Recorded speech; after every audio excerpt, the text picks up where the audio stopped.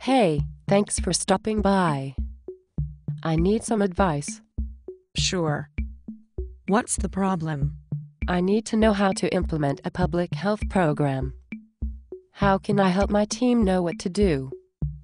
How can I share the evidence I have found? Did you look on the website of the National Collaborating Center for Methods and Tools? No, not yet. What does the NCCMT have that could help me? Check out their registry of methods and tools.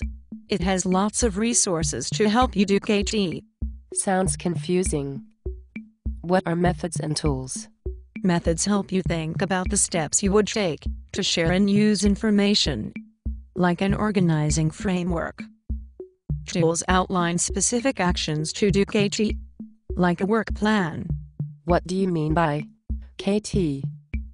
KT stands for Knowledge Translation. It's all about applying what you know to what you do. KT is how you move evidence into practice. So, how do you do KT in public health? You do KT by finding, sharing, and using information on what works. You can talk to people, to learn from their experiences, and to share yours. You might work together to change how things are done in your organization and your community.